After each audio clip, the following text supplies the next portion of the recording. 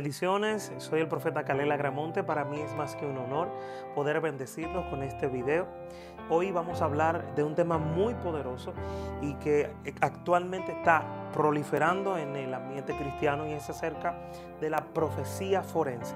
Vamos a hablar sobre todo lo que tiene que ver desde una perspectiva rápida, si se puede decir así, todo lo que está hablando, moviéndose ahora mismo en el ambiente de la profecía forense.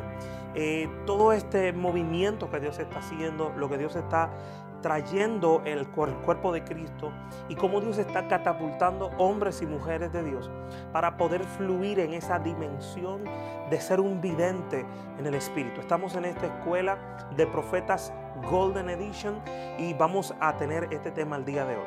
Lo primero que quiero que hablemos en este día es que toquemos el texto base de nuestra clase de hoy en Hechos capítulo 9, verso 10. Dios le habla a un hombre llamado Ananías y le dice, Ananías, levántate y ve a Damasco, le dice la ciudad, y ve a la calle que se llama a la derecha, verás a un hombre de, una casa de un señor llamado Judas. Ahí está un hombre llamado Saulo. Él ha visto en visión que tú llegas y le pones las manos y él recibe otra vez la vista. Eh, cuando vemos esta particularidad nos damos cuenta que Dios es un Dios que opera con detalles. Este es el primer principio que creo que usted anote y tome en el espíritu. Dios es un Dios que conoce los detalles, que nos conoce a nosotros y que ama revelarse a nosotros de manera detallada. La Biblia habla de un hombre llamado Saulo que había sido un perseguidor de la iglesia, eh, había perseguido a los hombres de Dios, inclusive apóstoles de Jerusalén, y consintió en la muerte del primer mártir de la iglesia llamado Esteban. Dice la Biblia que este tiene un encuentro con Jesús en el camino, sus ojos son alumbrados, él cae al suelo y dice que las personas que andaban con él comienzan a escuchar la voz pero no entienden las palabras, porque la voz de Dios comenzó a hablarle a Saulo en hebreo y los demás hablaban en italiano, en romano, en ese, que, era el idioma de ese tiempo. Y dice la Biblia que lo llevan a la ciudad después de tres días de ayunar y orar. Dice que él tiene una visión y Dios le habla a uno de los discípulos o a un discípulo y le dice que fuera a la casa donde estaba eh, Saulo. Ahora bien, cuando notamos eh, este mover de lo profético en, en este hombre llamado Saulo, hay varios principios que yo quiero destacar. Lo primero es que él no era un apóstol, él no era un profeta, él no era un evangelista, ni uno de los diáconos. Él era un hombre, un discípulo lo que dice la Biblia es que él era un discípulo. O sea, el primer principio que quiero tocar aquí es que la unción profética y la dimensión de poder fluir en la profecía forense no es para los apóstoles o para los profetas solamente.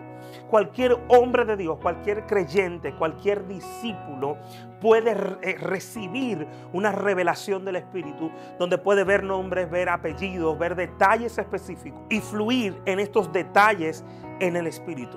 Entonces cuando vemos esta particularidad en, en este hombre llamado eh, eh, Ananías, nos damos cuenta que tú también puedes fluir en esa dimensión profética. Es decir, eso no está limitado a un grupo de personas. Todos los hombres de Dios, todas las mujeres de Dios pueden fluir en esta dimensión de la profecía forense. Pero no solamente Saulo, vemos que Cristo también operaba así. Este, este Yeshua o Jesús, cuando habla con la mujer samaritana, eh, él le dice, trae a tu marido para, hacer el contacto en el espíritu. Eh, ella le dice, no tengo marido, e inmediatamente Jesús comienza a fluir proféticamente. Le dice, sí, porque cinco maridos has tenido y el que tienes ahora no es tuyo. Algunos estudiosos dicen que hablaba de los, de los dioses de, que, se servían en Samaria o lo que se adoraba en Samaria. Pero yo creo específicamente que el Señor tomó una palabra de ciencia en esa dimensión de la profecía forense y confrontó la vida de esta mujer y trajo cambios poderosos a su vida. Lo segundo es que vemos a Cristo operando cuando Cristo le dice a Natanael, cuando estabas debajo de la higuera te vi.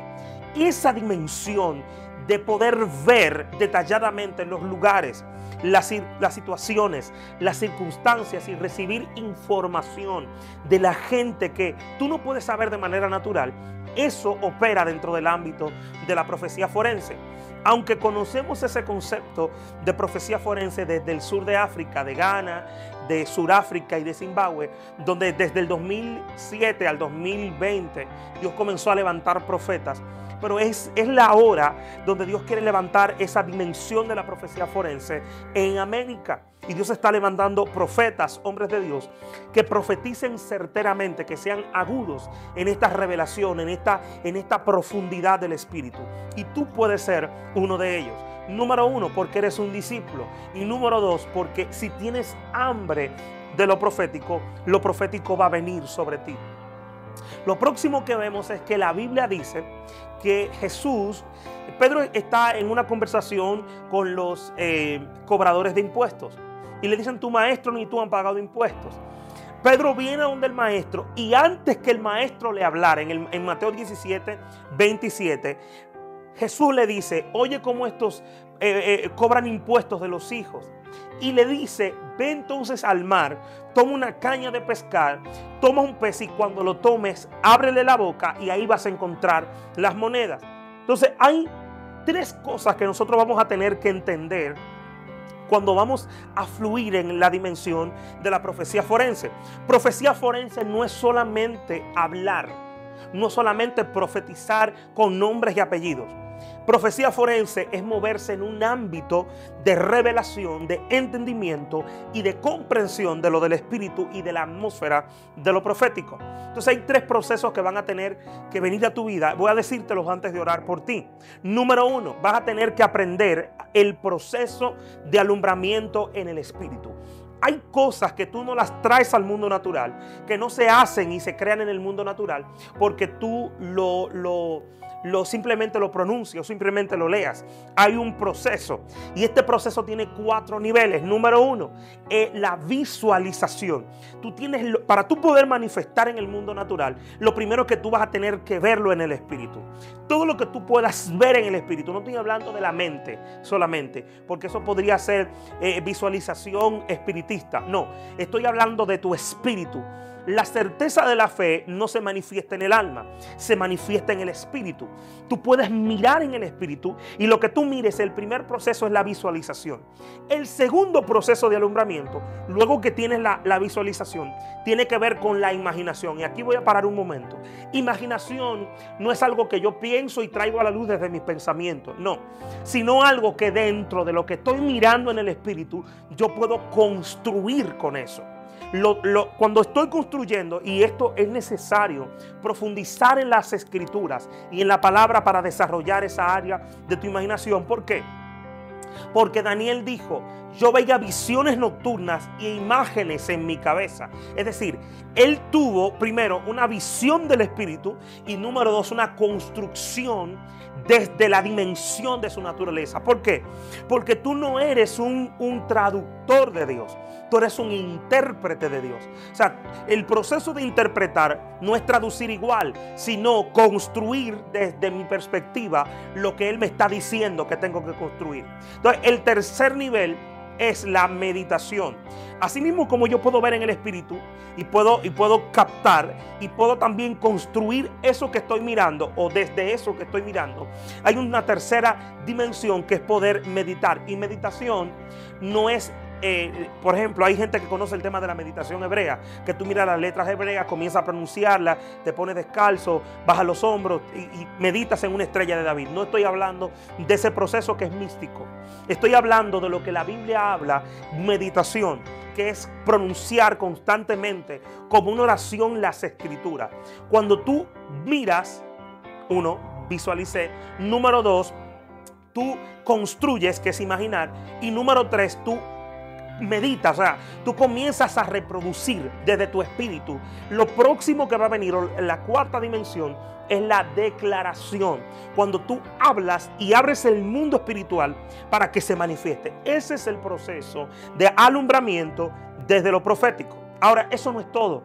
Hay una segunda área donde vas a tener que profundizar. Y la Biblia le llama a este los milagros no registrados. La Biblia dice, si todo lo que Cristo hizo se hubiese escrito, hubiesen faltado, eh, faltado espacio o libros, los libros no hubiesen podido ser reproducidos de tanto. Ese ámbito espiritual se llama el ámbito de los milagros no registrados. Hay cosas que Dios no ha hecho todavía en la tierra y Él está esperando que tú accedas a eso. Por eso una persona puede estar aquí, puede mencionar nombres, apellidos, eh, dirección, número de matrícula, ID de cualquier persona ministrando en el Espíritu, porque las cosas en el Espíritu no están cerradas, están abiertas, no están ocultas. Amén. Eh, están desnudas delante de, de, los hombres que operan en la dimensión de la palabra. En esa dimensión entramos en la dimensión de los milagros no registrados. Eh, ahora hay una tercera dimensión que es la, la tercera, el tercer área donde vamos a tener que entrar y es el ámbito de la gloria de Dios. En un estudio hace unos días yo hablaba con un grupo y les decía que cuando tú miras lo que sucedió con Pedro y Juan y Santiago en el monte con, con Jesús, es algo indescriptible.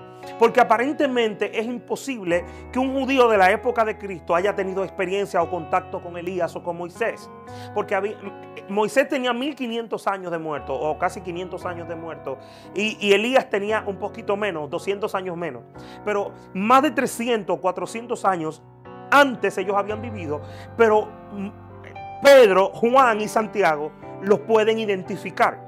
¿Cómo es posible que yo pueda identificar el espíritu de alguien que yo nunca conocí? ¿Cómo es posible que Samuel se me puede presentar ahora en el espíritu y yo puedo saber que Samuel? Fácil, porque en el ámbito de la gloria todas las cosas son conocidas. Por eso dije en uno de los videos anteriores que eh, Adán tenía una de las cinco coronas que se llamaba la corona de la profecía.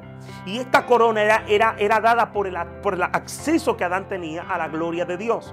Cuando accesamos a la gloria de Dios, la revelación del carácter de Dios hace que todas las cosas estén abiertas delante de nosotros. Entonces yo necesito acceder al reino de la gloria para capturar y obtener esa dimensión en el ámbito de lo profético. Quiero orar para que tú seas dimensionado. Y antes de orar, quiero invitarte a nuestro entrenamiento sobre profecía forense o que participes, que puedas adquirir uno de nuestros paquetes de la escuela de profetas y escuela de videntes, para que puedas dimensionar en el ámbito del Espíritu. También quiero invitar a todo el que pueda ver este video. Vamos a tener a partir de febrero una escuela de profetas y videntes internacional. Vamos a tener miles de alumnos registrados para ser impartidos y avanzar en esta dimensión de lo profético. Así que no te lo pierdas. Escríbenos. Vamos a tener tres meses de nivelación gratuita o tres clases de nivelación gratuita. Noviembre, diciembre y enero. En febrero arrancamos con las clases para que puedas dimensionar en tus dones. Así que escríbenos para que puedas saber más sobre esto. Quiero orar por ti. Padre, gracias. En el nombre de Jesús. Gracias por tu presencia, por tu fluir, por tu palabra. Padre, oro por cada creyente, por cada discípulo que tiene hambre y sed de lo profético. Así como le revelaste a Ananías la ciudad, la casa, el nombre del dueño de la casa, la persona que estaba y la visión que había tenido. Así activa esta gente que está viendo, estas personas, estos hijos tuyos que necesitan crecer en esta dimensión de lo profético. Señor, yo sé que tú vas a hacer algo sobrenatural en América y en Europa en los próximos años, así como hiciste en África. Y se levantarán los profetas más grandes que hemos visto hasta este tiempo. Gente con el espíritu de Elías para dimensionar la tierra en otra realidad. Y yo sé que tú lo harás. Oro para que este, estas personas que están viendo este video puedan ser activados y puedan ser dimensionados en tu poder para este tiempo. En el nombre de Jesús. Dios te bendiga. Nos vemos en una próxima clase de esta Escuela de Profetas Golden Edition. Shalom para ti.